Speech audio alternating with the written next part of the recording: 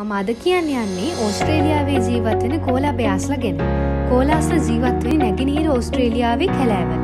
මෙයාල ශීරපායි සත්තු. මෙයාල එකිනෙකාක කතා කරන්න එක එක ශබ්ද තමයි පාවිච්චි කරන්න. කෝලාස සාමාන්‍යයෙන් වතුර බොන්නේ නෑ.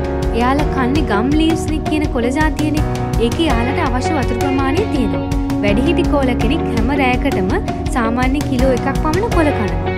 එයාලා දවසේ වැඩිහරයක්ම කරන්න නිදාගන්න එක.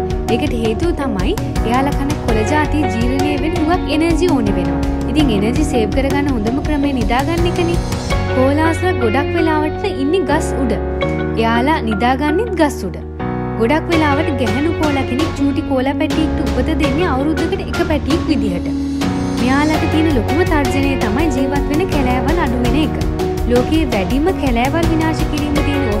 ඉතින් ඒකින් කෝලාසට ඉන්න කැලෑවල් හුඟ අඩු වෙලා තියෙනවා. දැනට ඕස්ට්‍රේලියාවේ ඉන්න කෝලාස ප්‍රමාණය 80000කට වඩා අඩුයි. ඉතින් ඔයාලා දවසක ඕස්ට්‍රේලියාවට ගියොත් කෝලා බෑලා බලන්න අමතක කරන්න එපා. අදට එච්චරයි. තවත් දවසක හමු වෙමු. මිනිත් කෙටි channel එකත් subscribe කරන්න අමතක කරන්න එපා.